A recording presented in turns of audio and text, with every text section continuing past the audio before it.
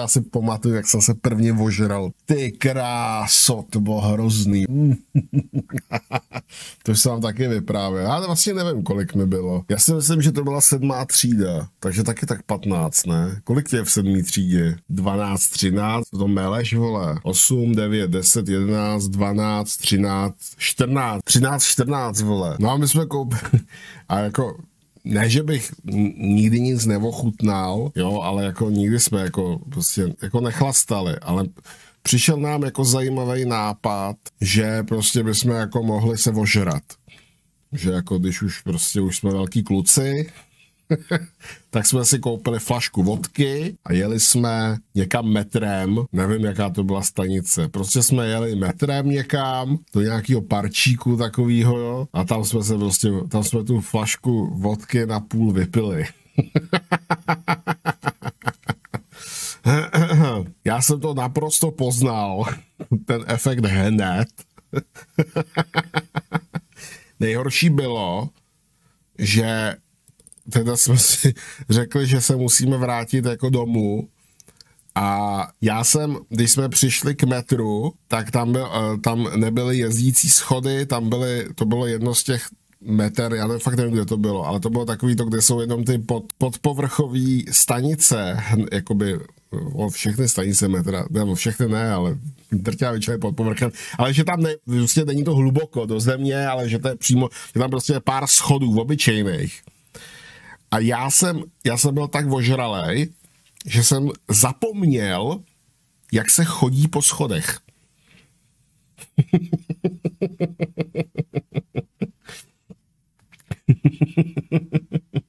nedělali jsme čiky briky, nedělali jsme vůbec nic, vole, byli jsme prostě úplně totálně ožralí, vole.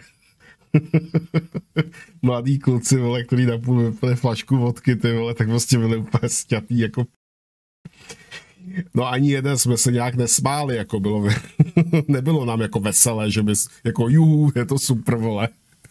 Nicméně dostali jsme se až domů, nebo do svojí městský, tenkrát to bylo na malou stranu, já jsem byl na malé straně a dostali jsme se na malostranskou a řekli jsme si, že se tam, že se tam prostě na náplavce sedneme na lavičky že ještě chvíli počkáme. Tam jsme si sedli na lavičky, samozřejmě, že to nějak jako, že to jako nepustí, vole, během půl hodiny, že jo. No nic, no ale bylo to trochu lepší, jakože trošku jsem se jako zpamatoval, no šel jsem domů, bylo to jako lepší, už jako mě přešel takovej ten úplný jako přešel mě takový ten úplný prostě taková ta mlha a takový to, kdy prostě vůbec jako já většinou, já tak, když jsem byl ožralej vždycky hodně, tak eh, mně se hodně často stává to, že můj mozek prostě funguje úplně normálně, ale vůbec mě prostě neposlouchá zbytek těla, jo? Že třeba jednou jsem, jednou jsem prostě na chatě, jsem byl ožralej, úplně mega, a ležel jsem před hospodou na schodech a já jsem prostě chtěl vstát a jít a jít domů. Ale to tělo prostě vůbec nespolupracovalo, ani trochu. Prostě já jsem říkal, dělej, posaď se ty vole, opři se rukama a ty ruce nic nedělali, tělo se neposadilo, prostě nic, nohy nic nedělali ty vole, víš prostě. no nicméně už, už, už by bylo jako, už to bylo jako lepší, takže jsme šli domů, že jo, každý teda k sobě domů a já jsem, já jsem měl svůj pokoj, dětský pokoj jsem měl za obývákem, takže jsem musel projít obývákem, kde že jo, seděla máma a táta ležel na pohovce a koukal na telku. Takže jsem si jako velice pečlivě prostě, víš takový to, když jsi prostě ožralý a snažíš se být co nejméně nápadnej a chováš se prostě úplně totálně jako prostě největší prostě. Tak jsem jako šel jako opatrně tím obývákem. Samozřejmě máma na mě koukala a říkala, co je? A já jsem jenom takový to. No, jak, dobře, já jsem vlastně něco špatného snět, víš, jako nejvíc nenápadný agent na světě, vole. Máma teda nic, ale asi to muselo být jasný, ty vole.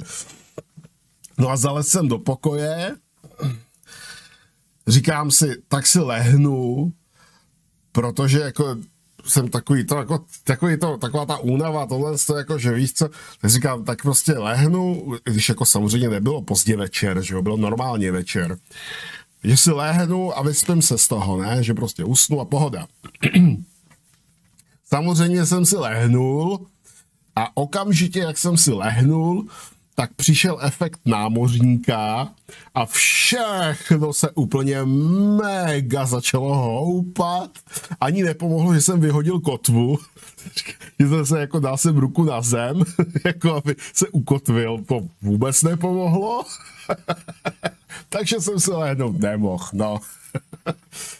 No a samozřejmě po, po nějaký době už teda se dostavila jako, už si tělo řeklo dost, No a dostavila se i nevolnost, takže pak jsem šel i zvracet. Naštěstí jsem to stihnul do toho. Čím jsem pak samozřejmě doložil svoji, svoji verzi toho, že jsem si je něco špatného, protože jsem se z toho pozvracel, z toho špatného jídla, že jo.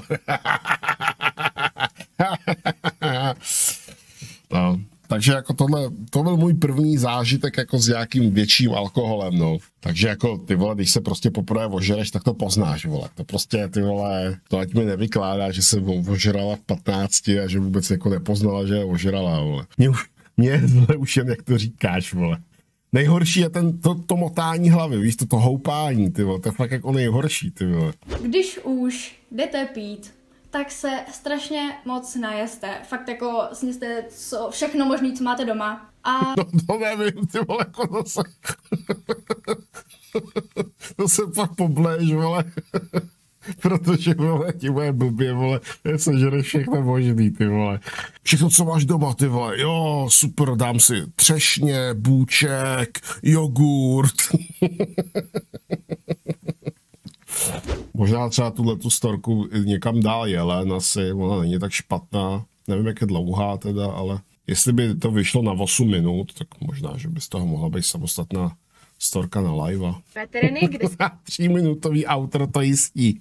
Když tak to natáhneme nějakou omáčkou, nějakou písničku třeba tam dáme. Znáte nějakou písničku o alkoholu? Non-stop, já chci pít non-stop a s tím, kdo přijde, mám chuť rvat. Život je jenom chlastání. Dal ten text už neznám. Na tý louce zelený pásou se tam jeleni. Pase je tam kofígájík v kamizolce zelený.